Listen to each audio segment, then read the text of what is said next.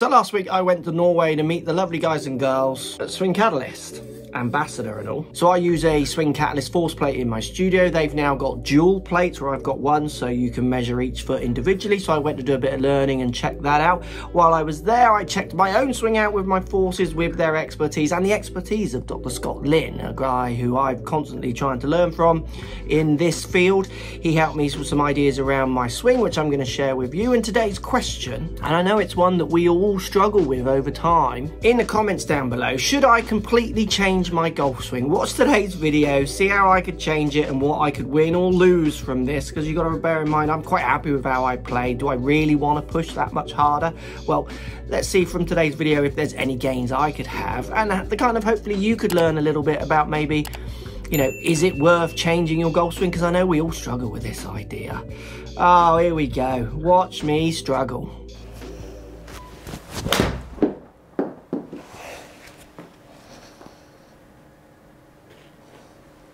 So I'm hitting an 8 iron, Scott. All right, you're going to hit a few? Yeah, you want me to hit more? Sure.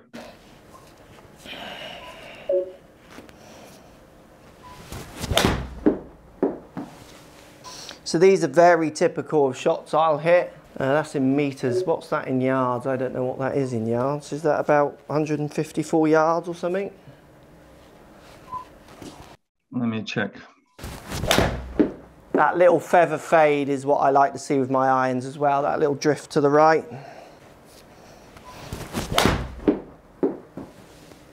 So like you, that's basically how I hit that club. I could hit a hundred, it won't change, that's, that's, my eight iron is reliable as such. So that one's like 165? Yeah, that's fair. Yeah, in yards. All right. So you know what your forces look like. Are these normal? Yeah. Okay. The horizontal is much more peaked than I would normally get a horizontal, but it's that kind of timing. Right. All right. So I would say your dominant ground reaction force pattern is vertical. Yeah, it's always vertical. Okay, that's good. And it seems like you're using the vertical as a brake? Yes. Because uh, your brake is way late. Yes. Like your horizontal brake. Yeah, the horizontal. I could never get that horizontal earlier. Right. All right. So this is something we've seen in some long drive guys where the this is actually Justin James. The braking force is way late, but they're using the vertical as the brakes. Yeah. Which I think is is an effective strategy. So, you know, some people we see that braking force would be once we get the the vectors on there would be a negative horizontal, but yours isn't still almost positive horizontal, but it's yeah. going straight up to. And I think that's to do with my face control personally. Interesting. So it, I could do another shot to show you what I mean by that. Sure. And I might be completely wrong, but when I've played with it, so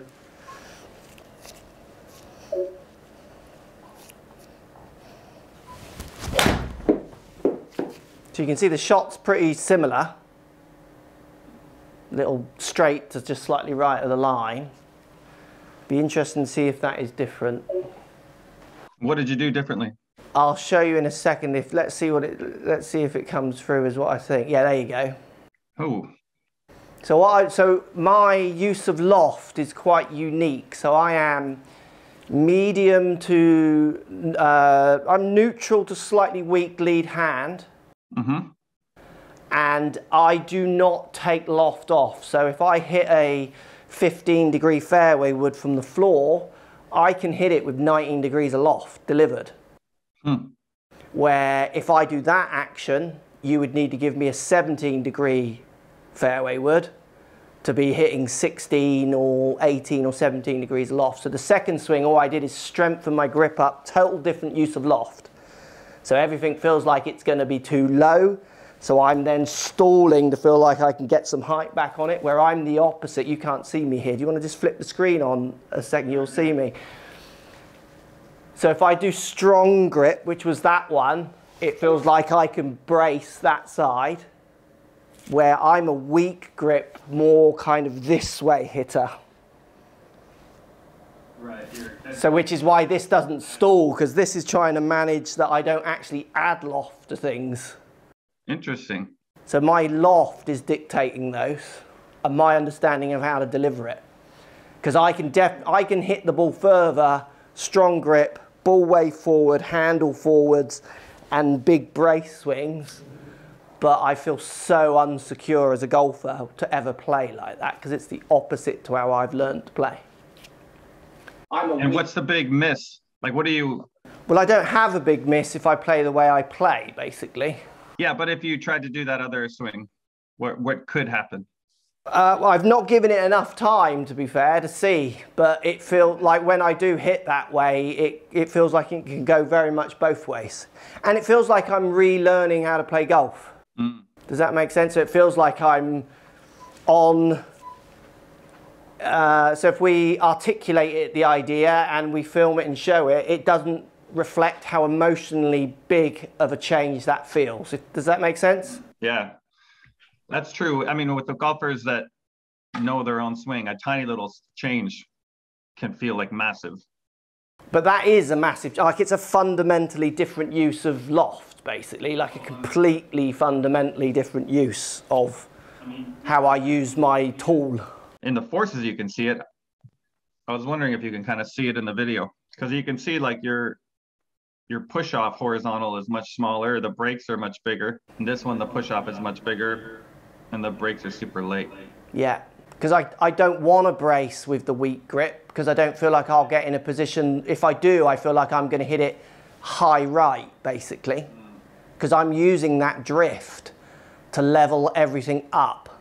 Look at the face, look at the difference in the face. You go back up front on view, look at the face, how much more, in my mind, closed that looks, and look how much more on the left side there, how much more I'm already starting to go forwards, aren't I? Where on the right one, I'm like just happily centered. Staying pretty centered, yeah. Yeah. And it, it does affect obviously the pressure shift too. So you can see your 83 into your right side on the right here. Yeah. And you're only 74 on the left. Yeah. So the, the way I, what helped me work that out was my plate uh, back at home. Yeah. Like, because I was, you know, we know what it's like when you first get this tech, you're thinking, like, I just want to move every graph on my own and independent so I can teach with it. Like, how do I move a number and not another one? Mm-hmm. And during the lockdowns, because obviously we weren't playing golf for months, it gave me loads of time to actually practice quite extreme feelings.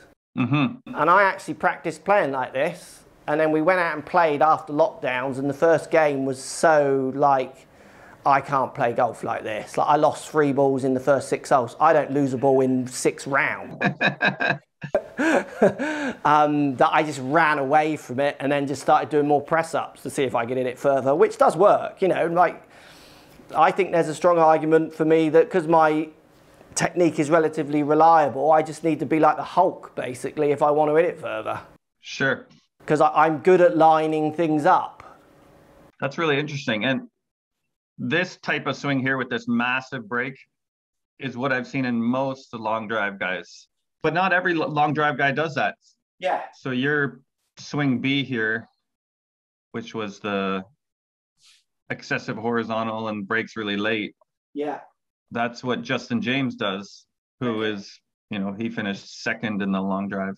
Yeah, yeah, yeah. Whereas Kyle Berkshire looks more like your yeah. number one swing. Yeah.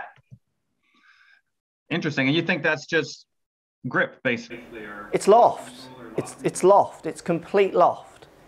And you control the loft by changing your grip. Correct. Okay. No, that's good because I've seen. I mean, or Mike Adams talks quite a bit about how the grip can change how you use the ground. Yeah. But that was almost a little bit opposite because he would say a stronger grip uh, introduces more glide or more horizontal. Yeah, which is what you, that's, I mean, I think if I played with it, it might do because obviously the stronger grip makes you fearing the left shot, doesn't it, a little bit? Mm-hmm. And I feel like I might glide a bit more to make sure I never get that left shot. But then there's a flip side of me that thinks I won't. If I just spin out of it more, I basically hold it open. So spin out of it more, I mean, as in if I go strong grip and then push this foot out that way more and back this way, that kind of gets me holding it off. Yeah. So you don't get that rollover. But the strong grip hit, like I practiced some literally the other day, and it is, well, I gain distance predominantly because I will deliver two degrees less loft on shots as well. So instantly you're just maxing out. Cause so. Well, you're hitting a seven iron now. I'm hitting an eight iron, but you basically turn it into a seven iron. Yeah. So with, with my driver, to give you an idea, my driver I can easily deliver 20 degrees of dynamic loft, and I'm a I'm using a nine degree driver. I, I have to work and concentrate on not on delivering about 16 or 15, which is my optimum for my speed and ups. Right. Right. But if you were in a long drive contest, you would go with option B. Yeah, totally. I would be giving it that. Right. Would you ever choose to maybe try that? No, what I choose to do is I will do, do you want, I'll show you what I do if I'll do it with the eight just to show you, but if, it, if I've got room to give one a whack, I'll use my standard technique and I'll just literally go for it. My left foot jumps more, like the verticals generally will go like well, your graphs aren't big enough to keep my vertical on when I do that one. It'd be interesting to see if it changes. So that's the same as technique number one, but just at higher speeds. Yeah, there you go. Yeah, look at it. And that's an eight iron. Right. That's really cool. And this is what we see quite a bit with um, the long drive too. This is something I've been playing with recently.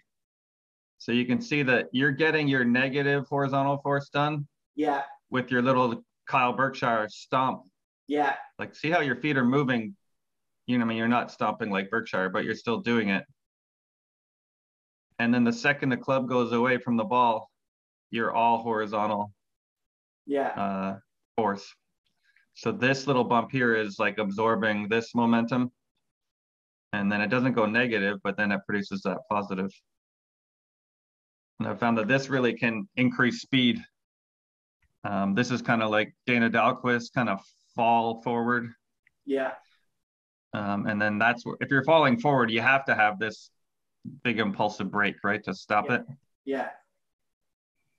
And you have it occur very close to your peak vertical, which is what Berkshire does. And so you, you want technique number B, don't you? I mean, a technique number B is what most people would be looking to do. And I think if you're a golf instructor and somebody comes to you and says, I want more speed, some of these things are good things to think about. Yeah. Um, but having you having played the game for so long and knowing your swing that well, um, it would be hard. Obviously, like you say, you can't go to the golf course with that because yeah. you lose a bunch of balls. Well, that's the thing. You can go to the golf course like that, but can I be bothered to practice that hard again? I probably can't, to be fair. so, should I change or not? It feels so crazy. But maybe it just feels like every student I've ever told to change something. It's, it's, you probably, I mean, I'll show you the difference and you can barely see it. To me, the face looks like I'm de-lofting, the grip feels ridiculously strong. I mean, I can make it work in here, but this is also controlled. You know, can I be bothered to learn wind off the left, wind off the right, all those kind of little nuances that allow you to score with a completely different feeling and look to everything I'm looking down at.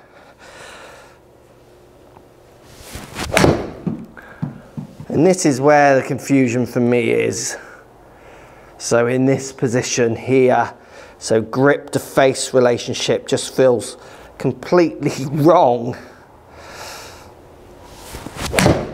Like it makes sense in my mind, but it feels so different and then in turn feels so wrong. And here is the difference. It's a ball mile an hour speed. It's a little less launch angle, spinning a fraction less, and then the resulting distance is a fraction more. You can see how the blues just push on that fraction further than the yellows. But it's coming from that. It's coming from the fact that I deliver less loft and it's also coming from the fact that I get the strike slightly higher up the face than my standard uh, technique. And that's something that does make me think it's something I might persevere with, but I'm sure I'll run away pretty quick. So the difference being is the, the new way, if you like, feels like I'm hitting the ball this way more, so the ball naturally gets up the face, where my standard way feels more this way, straighter handle, uh, not leaning forwards, not taking that loft off. And you can see it's one degree. It's feelings rather than reality so much. And this one's always going to be more middle to bottom. And definitely through my life, I've always been someone who catches it clean a lot. You know, I'm quite, uh, I catch it like, uh, we call it skank golf. I hit like okay and then skank a few, which always get kind of front edge, where this feels like I would rip more shots. But if I'm less accurate, those one yard difference is going to make no difference. So I think what's interesting as well with these two swings is that it's the weak grip on the left and then what I feel is the really strong grip on the right. You do see a difference in how I then push in the ground to get those resulting numbers. So biggest difference we see is the peaking vertical around 215 on the strong grip happens way, way earlier, look, where club's kind of level with head. Peaking ver vertical with my weaker grip is much later, club down near the ball. Um, it's a higher vertical because as Scott says, I'm obviously using it to brake as well. And then the other thing that we really see, and this is where I think the strike changes, is we look at the torque values. I'm almost out of my torque as I get into the ball on strong grip, where with the weaker grip, you can see here around impact, I'm still got plenty of torque to go. I'm halfway down my ramp, so I'm still trying to turn. So in effect, the stronger grip, certainly with an 8 iron here, and I need to do it with all the clubs in different situations, which is where it's so easy to run away from it. But the stronger grip is making me feel like I kind of get out of my lead side much earlier for a better strike. Where the weaker grip, I do feel like I'm kind of in my lead side for a lot longer, much safer as I kind of just glide through impact. And often, obviously, without that handle lean, even though it's very slight, then changing the strike as well. So not only where my low point is, but also where I'm striking it on the face. Like combining those two is what I feel would be the bigger difference. Now, will that make me play better? Again, with all lessons I say to students, I don't know. You have to go and practice it and see what we get out of it. And there lies the big question. So I'm going to leave it up to you in the comment down below. Should I? Should I change or not? I mean, I can play to a standard that I'm happy with at the moment. Like my game I put any time in, it's just safe and easy. It's not good, but it's not bad. It's just like fine enough for me to have fun. Do I really want to push what something feels so hard for such small changes? But in golf, sometimes it's the small changes that count. What do you think in the comments down below? It's tough, isn't it? Trying to get better at golf. Doesn't matter what you measure, like the measuring helps me understand how things happen, but you've still got to put the work in. Oh, so many people I see, oh, you've got this, that, and the other, and you still play rubbish golf. Well, diagnosing good golf is very different to trying to play good golf. That's part of the skill, and then the rest of it, unfortunately, is up to us. Can't wait to hear what you say in the comments. Thanks for watching.